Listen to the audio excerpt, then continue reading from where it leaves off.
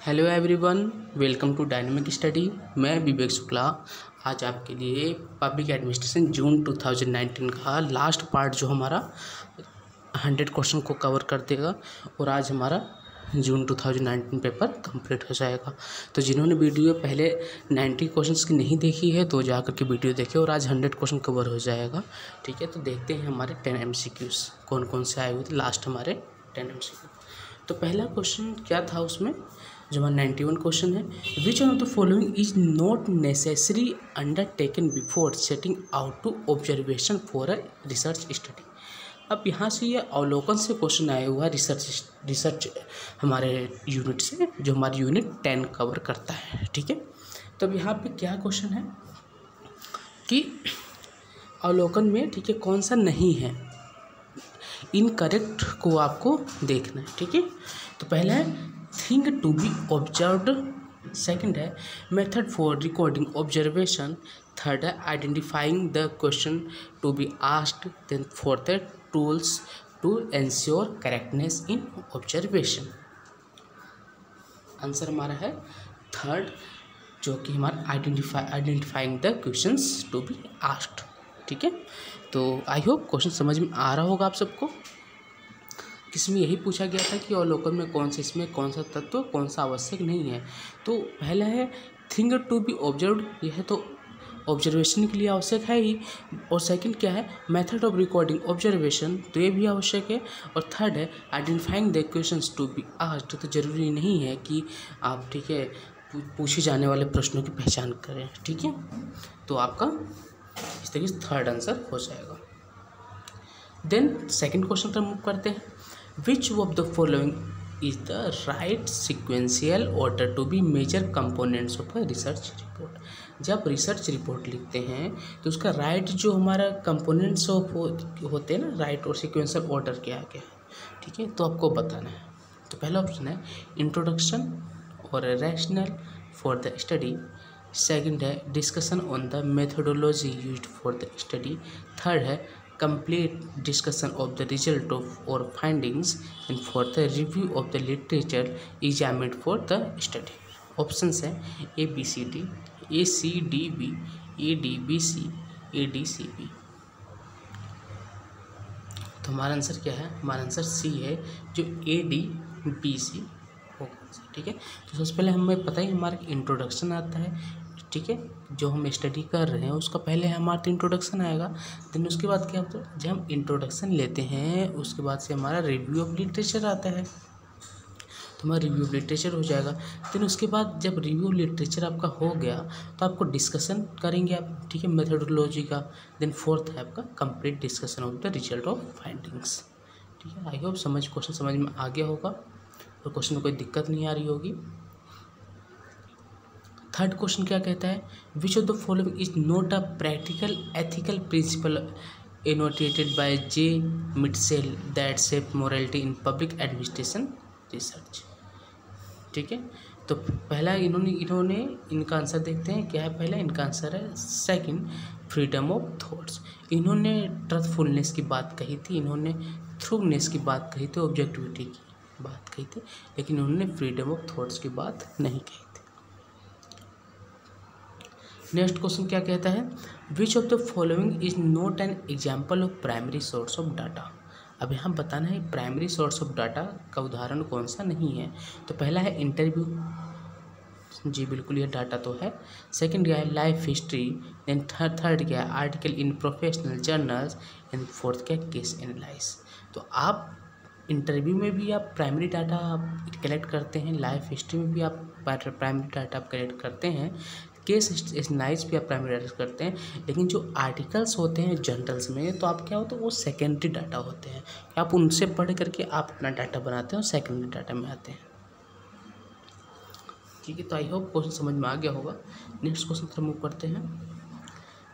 Arranging mass of data in some kind of concise and logical order is known यह बताना है कि यहाँ पे जो हमारा, ठीक है, डाटा दिया हुआ है, इसमें से कौन सा है जो लॉजिकल ऑर्डर में लॉजिकल ऑर्डर एंड कंसाइज में होता है? तो पहला है editing of data classification of data tabulation of data data adjusting ये क्वेश्चन ट्रिकी क्वेश्चन भी है और, बस थोड़ा सा माइंड अगर आप उसमें किस क्वेश्चन के टाइम करते हुए टाइम पे अगर थोड़ा सा सोचें तो उस बेस पे आपका आराम से आंसर निकल सकता था।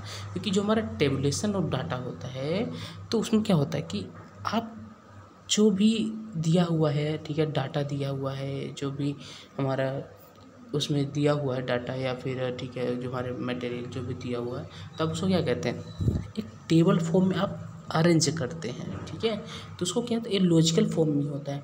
जब आप एडिट डाटा करते हैं तो चीज़ नहीं होती है क्योंकि आप डाटा को एडिट कर रहे हैं क्लासीफाई कर रहे हैं, आप डाटा एडजस्ट कर रहे हैं। लेकिन जब आप टेबुलेशन ऑफ़ डाटा करते हैं तो आप किसी डाटा को जो हमारे आंकड़े होते हैं, उसको आप एक सिक्वेंशियल ऑर्डर में, एक आप लॉजिकल ऑर्डर में क्या करते हैं? आप उसको ठीक है टेबुलेट करते हैं, ठीक है? आप उसको अरेंज करते हैं। नेक्स्ट क्वेश्चन है which of the following is not an important object objectives of preparing questionnaire to conduct research survey यह क्वेश्चन आयर से महत्वपूर्ण क्वेश्चन है कि इसमें से कौन सा जब हम शोध सर्वेक्षण करते हैं तो प्रश्नावली जब हम तैयार करने में कौन सा महत्वपूर्ण उसका उद्देश्य नहीं है।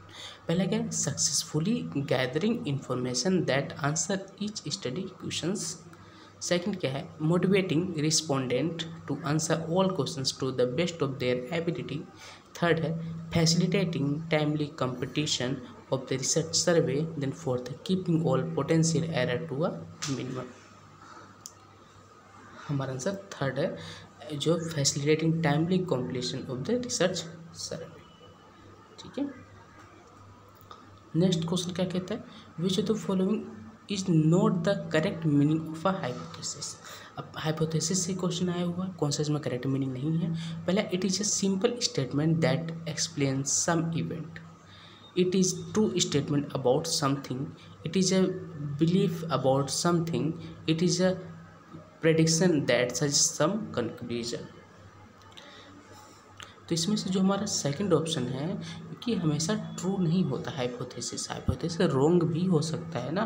तो इस तरीके से अगर यहाँ पर ट्रू स्टेटमेंट लिखा है तो गलत हो जाएगी। बाकी तीनों स्टेटमेंट सही हैं। Next question assertion and reason से था। एसर्सन हमारा क्या कहता है? Conceptual research is related to some abstract idea और थ्योरी ठीक है? तो क्या सही है। देखते हैं रीजन क्या है। It is data based research coming up with conclusion capable of being verified जी, ये तो गलत लग रहा है रीजन तो हमारा assertion क्या है conceptual research related to some abstract ideas and theory because it is data based research coming up with conclusion capable of being verified तो जब हमने रीजन पढ़ा था तो रीजन हमारा अगर पहले ही हमारा गलत सुन बता रहा है ठीक है तो हमें इसका आंसर चेक करने की ज़रूरत नहीं है हम डायरेक्ट आंसर लगा सकते हैं सी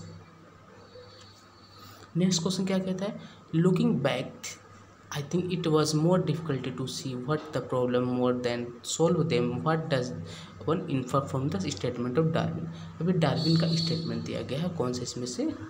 बताते हैं कौन सा उन्हें क्या हल करना चाहिए, ठीक है?